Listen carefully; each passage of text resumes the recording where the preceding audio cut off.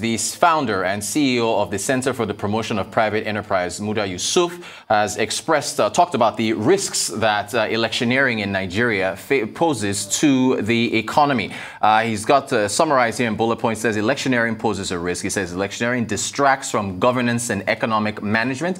Heated rhetoric stokes violence, which deters investment. Election spending has inflation implications. There's also corruption risk, the risk of state resources being used for elections.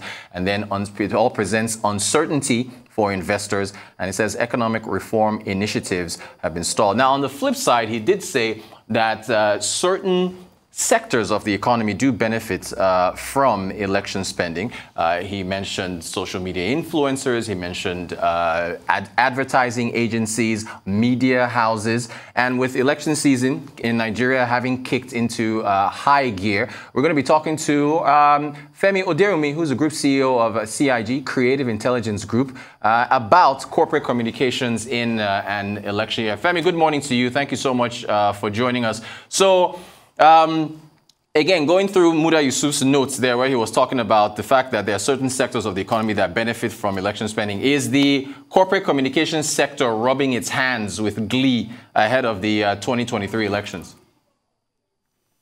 Okay, well, I wouldn't exactly uh, term it as rubbing, rubbing with glee, but yes, um, I would agree that um, leaders of um, communications uh, consultancies or agencies are actually la- looking to land um, significant um, engagement during this period. Um, I, I, think they will be trying to do that cautiously because providing communications within the Nigerian political space can be likened to trying to grab a live catfish sometimes. In fact, trying to grab a live electric eel sometimes. I, I like that analogy. Um, okay, so p- politicians have been accused of, I guess, driving up the cost of I can pick a sector, real estates in certain parts of Abuja, for mm-hmm. instance. If you're a firm mm-hmm. trying to get corporate comms services in this election period, are you at risk of facing higher prices due to excess demand from the season, being crowded out essentially? Um, well, I think generally you're you're likely within this season to face higher prices with communication services, mainly due to inflation. Um, but what you're more likely to face due to the election season will be uh, scarcity of talent because you know scarcity of uh, experience and effective talent might be who might be otherwise engaged. Uh, that will be something that you find. But there's also a growing field of specialized communication services that are targeting the election or political communication space. So um, it's a half and half. All right. Now, uh, uh, just over the weekend, there were a number of artists that held a um, voter registration drive, Falz the bad guy, yeah. MI, and so on and so forth at uh, TBS um, here in Lagos, Tafawa Balewa Square. Um, registered voters yeah. had to show PVCs to gain entry. Is there any way mm. that brands can key into opportunities like that while, I guess, remaining neutral? Is that, is that possible? Yes, so that would be the main concern. Um, first off, I really love the initiative. I think it's fantastic. Um, it also goes to show how the Nigerian electorate is becoming more, um, how do you say, sophisticated, if you would. Um, but it really is about seeing it as a civic responsibility, encouraging civic responsibility uh, rather than pitching candidates. So for brands, if they take a look at it from those lens, from that lens, then they can actually partake in it without um, having fear. Now the thing is brands always have a, a better trust bond with their customers, uh, more than the government, sad to say. But with that um, trust bond comes the responsibility of trying to encourage people to do this. So if they if they actually um, engage in it as a creative responsibility, then yes, they would they would do so without fear. The onus is on the um, on the, the people who are putting such initiatives together, people like Falz and you know other people who might be having such ideas to ensure that they are not associated with a particular candidate or a particular party to enable brands have the confidence to be able to come in, play their um, creative responsibilities as I mentioned earlier, and then encourage people to come out and you know utilize their votes. Well, what, what's the trend in terms of uh, politicians utilizing, I guess, local corporate com services versus seeking foreign services. Is that is that a thing? As with every professional services sector in Nigeria, it is a thing. You know, if it's foreign, it's generally deemed to be better. However, the um, the problem uh, can be in how the local service firms actually pitch themselves or pitch their ideas, which often and not is not as compelling as their foreign counterparts. Um, you also have the the problem of you know politicians who literally are quite trying to look for value and they simply want to win. So if you have local firms, you know, focusing on the revenues that they stand to gain than the value that they what they could provide to the politicians, then what you have is you know the foreign firms coming in and getting all those um, juicy gigs. That said, there's a trend that has been you know emerging since the 2015 elections, where you find that you know um, local firms like myself, uh, my company, and others who are quite dedicated to the space have the experience, have developed the frameworks that deliver value within Nigerian political space, are actually starting to give foreign um, counterparts run for their money and then giving local politicians, Nigerian politicians, a reason to go local. Yeah, but then uh, you can help me out here. What would a foreign firm know about the you know intricacies of politics on the ground, grassroots politics, and so on, versus a local firm? That strikes me as odd to even want to even go with a foreign firm. So it's a fantastic question, yeah, and and that's what we deal with all the time. The thing with most of the foreign firms have frameworks that help to deliver, you know, communications in a way that gets out the vote. And they gather that with, uh, they also boost that with experience that they've, they've gathered with other African countries. Um, most times we don't have a structured way towards, you know, uh, approaching communications in Nigeria it usually sometimes is subjective to how the top management feels, not really relying on things like polling data, analytics, and all the, all the other stuff.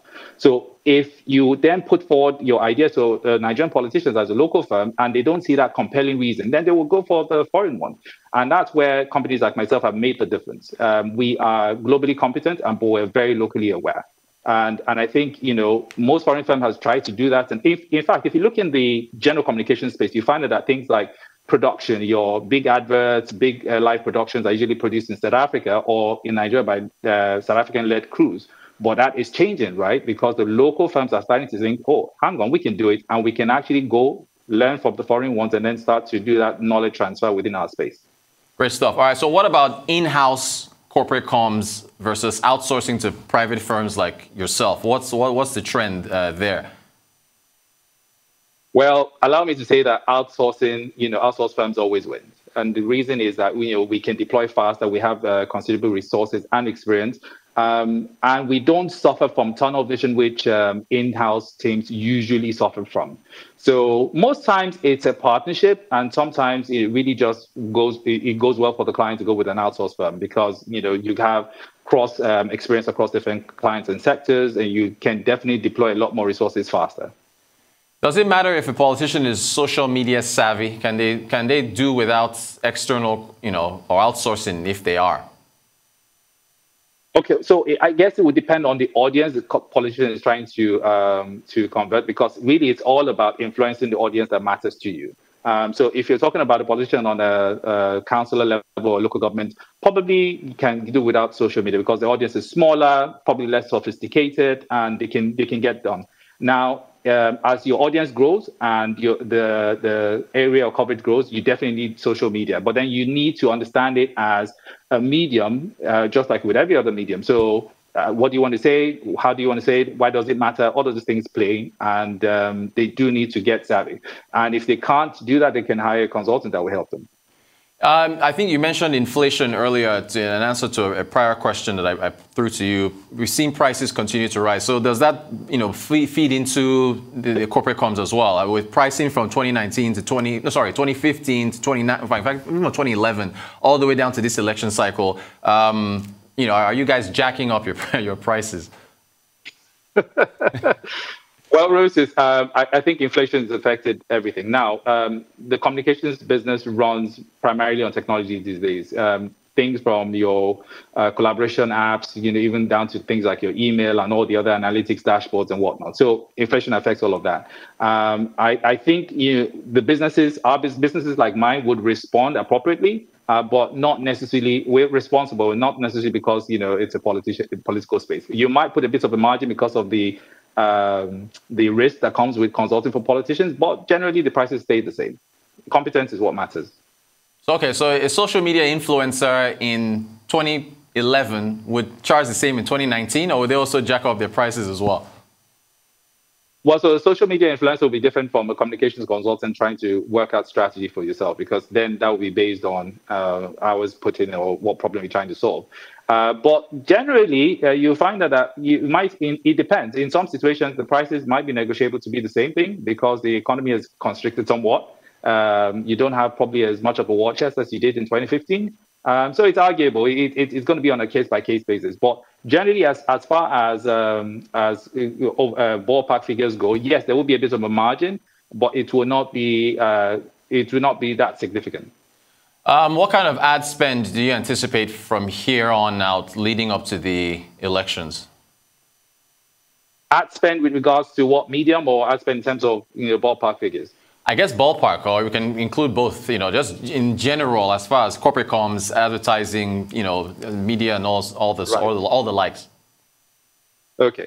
Well, I, I, like to stay away from ballpark figures if you don't mind. Okay, okay. but um, in, in, terms of medium, uh, uh, TV, um, outdoor radio still is still king. Um, there's been a very interesting, you know, trend which um, digital and mobile spending has been increasing year on year. Um, there might be a bit of a hit with digital, especially social channels this year, because there's a lot more regulation rolled out by uh, uh, companies like Meta, Twitter, and whatnot, which uh, aims to regulate the political advertising space. So we might not be seeing that much of an increase in ad spends in those in those regions. But Nigerian politicians like to see themselves. They like to be aware that everybody can see what they're saying. So TV, outdoor radio, still king. Uh, mobile, uh, digital will still, you know, experience the year on year, probably about say 10 to 15 percent more than the last time the more than last cycle.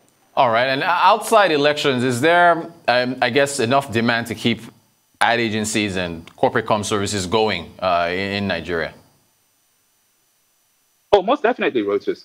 Um, again, like I mentioned, you know, uh, the the, the um, demand for organizations and brands, and even for politicians or government agencies, will be, always be to influence the audience that matters to them. As long as that need is there, there will always be demand for effective consultancies and agencies. Um, the good thing though is that COVID has taught a lot of uh, these people to a lot of these clients, organizations, or whatnot to um, expect results by judging output rather than input. So gone are the days when it mattered whether you put a 50-man team on a particular account. Everybody wants to see what can you solve, what can you um, bring to the table as results. So yes, there would be uh, there will be a lot of demand to keep uh, businesses like ours in, in business. Great stuff. Uh, Femi Odewunmi, uh, Group CEO, Creative Intelligence Group, thank you so much for joining us. Appreciate your insights.